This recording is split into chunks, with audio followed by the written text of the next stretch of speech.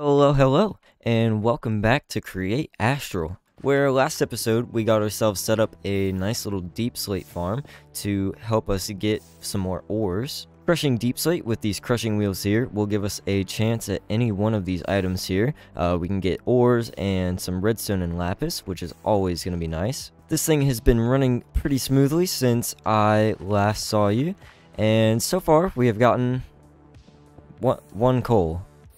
We're going to fix this today, and I think the only way we're going to do that is to scrap this whole thing and start over.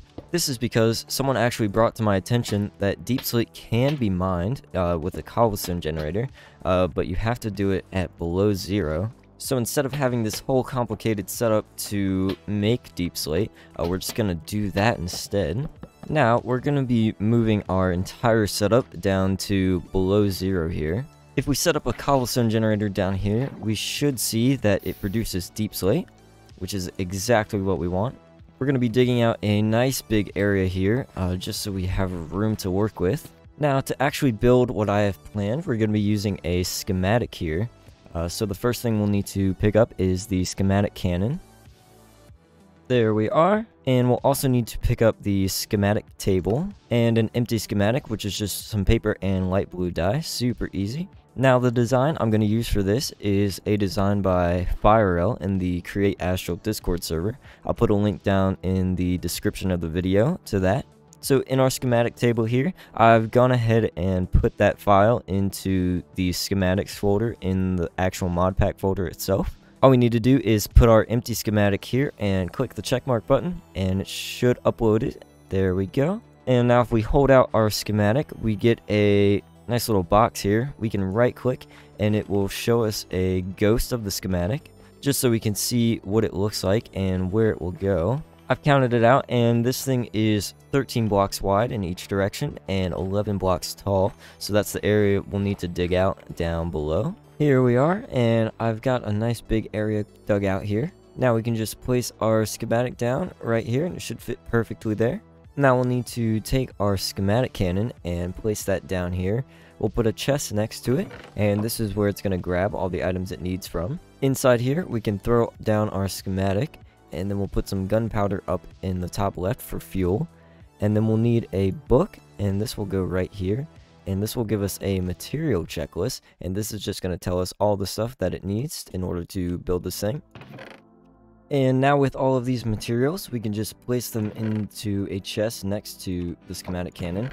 And if we hit the play button on this, maybe? Yep, there we go. We should see it start placing all the blocks.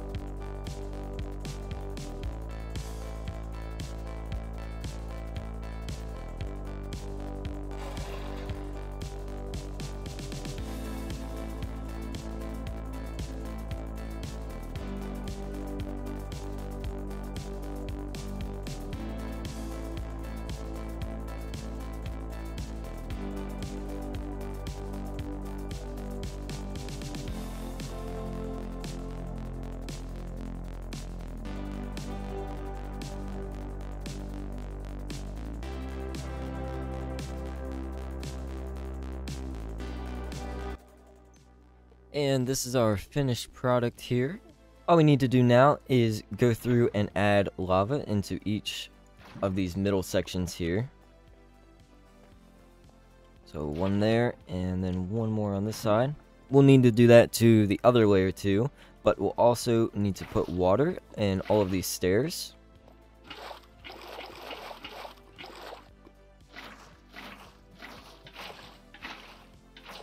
Now, to get this thing actually working, I've got a mechanical bearing here, and we're just going to throw that right on top. And then I'm going to use a windmill just for now until we get a better power source for this. Because we definitely want this to be running at the max speed we can. Uh, but a windmill is going to have to do for now.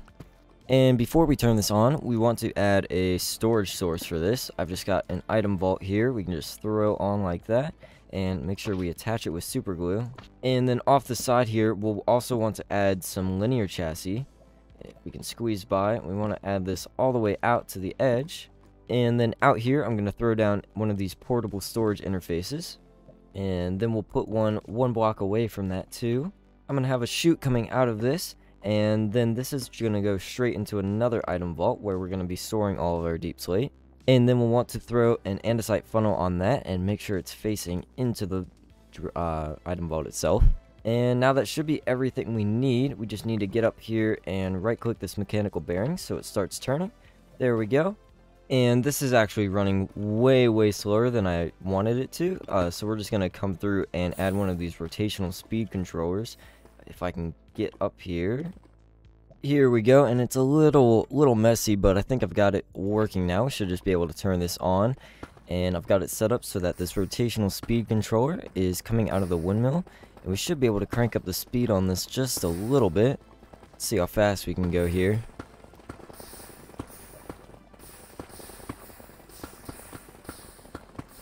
Well, looks like we can go at max speed with the with the windmill that we have. this is, um... Well, this is what we wanted, which is good. If I can get out of here now, that would be awesome. Alright, let's see if we can do this. Yep, okay. Let's just, okay, let's... Oh, and I forgot to attach the portable storage interface over there. That's why it's not connecting. Let's fix that. Maybe. Oh my goodness, what is happening? This feels bad. Yep. I think we may need to put some hazard tape around here or something. This is... This is not safe.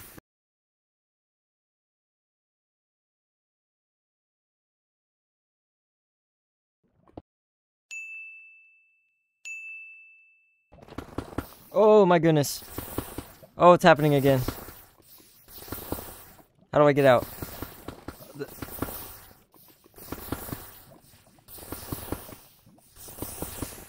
Okay. Um, it, this could be worse. I don't. I don't really know what to do here.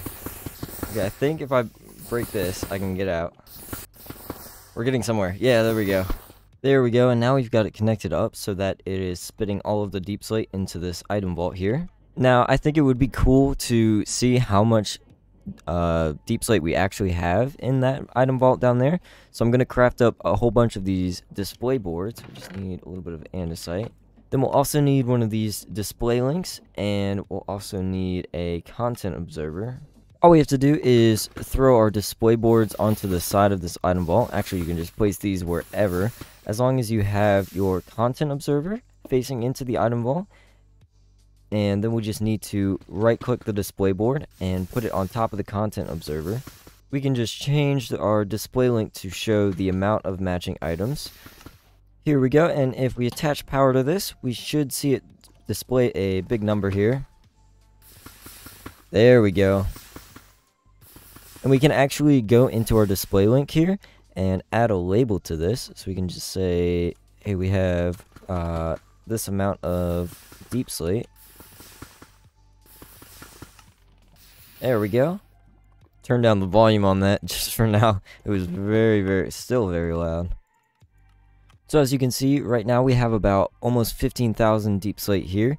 And I think that the current item vault size we have, which is 3 by 5 can hold up to 57,000. But what do we do with 57,000 deep slate? Well, for starters, we can have them come out into a couple sets of crushing wheels here. I'm hoping that 3 will be enough to handle all this.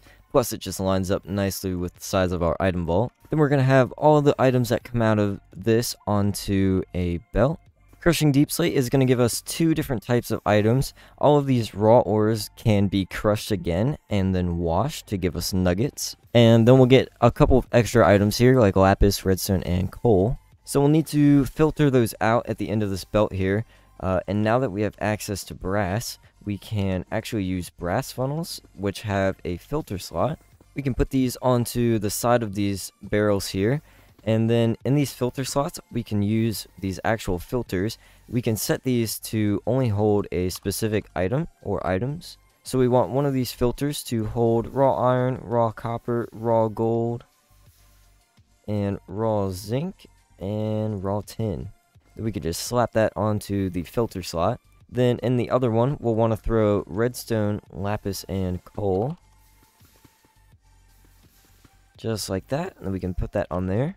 Now if we attach power to these wheels and add some chutes coming out of the vault here, we'll see all of those start to get processed. We'll need to power this belt too.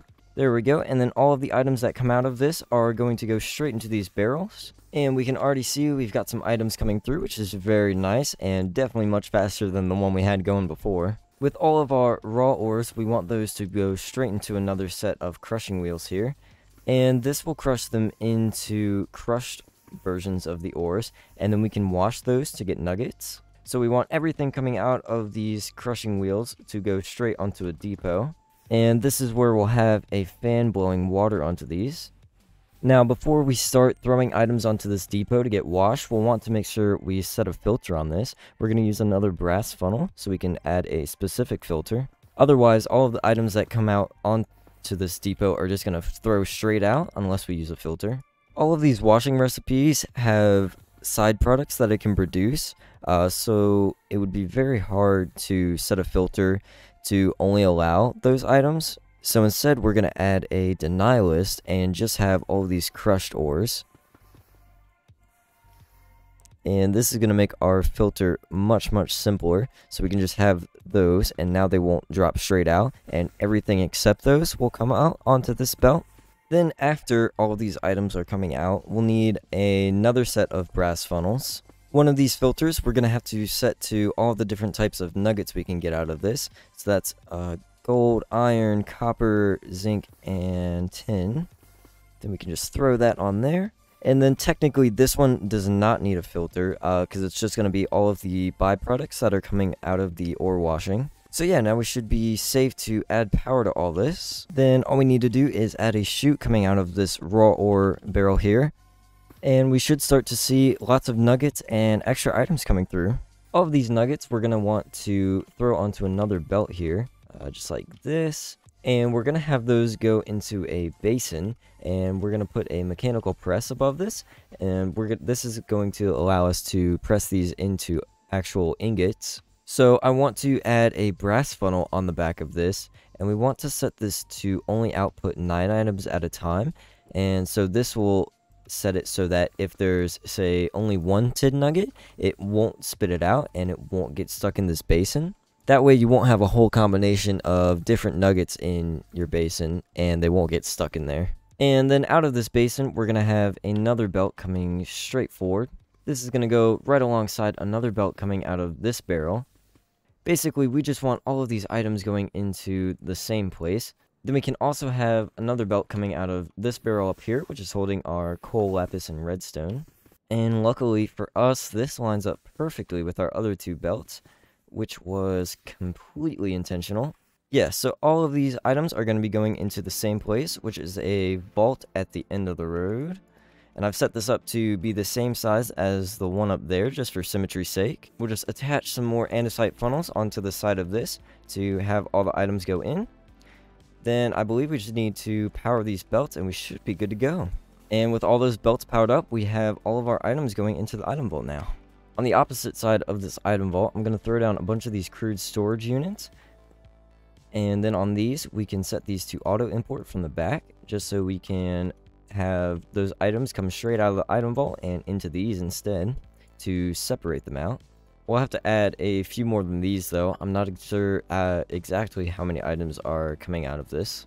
But already this is working so much better than the one we had up top. Uh, we definitely have more items than just one piece of coal. But of course, we can't leave this machine laying bare like this. It would be a disgrace not to decorate this place. I'm going to use a whole bunch of these glowing iron pillars here.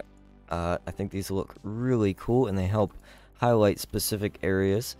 I may or may not have stolen these from a village on the moon. You know what? Maybe maybe repurposed is a good word. Yeah, I, I, we're repurposing them. I'm also going to use them around these crude storage units down here. And I'm, I'm going to throw down some of these moonstone bricks. I think these look really, really cool. I've also got these normal iron pillars here, which is another Ad Astra block. We've done quite a bit of decorating here, and I'm definitely not finished, but you can get a pretty good idea of where we're taking this. I've also thrown in one of these very cool iron sliding doors. These just look so awesome. While we've been building, our machine here has been hard at work, and we've gotten way more ores than I thought we were going to. Which isn't a bad thing, it's just definitely better than one coal. We've also accumulated quite a lot of deep slate. I had to speed up our whole machine down here just to keep up with it so that we don't overflow. But yeah, I think we're in a pretty good place now material-wise. Uh, we're definitely going to be making good use of all of these ingots and other materials we have now. But I think that's going to do it for today's episode. I hope you enjoyed, and I will see you next time.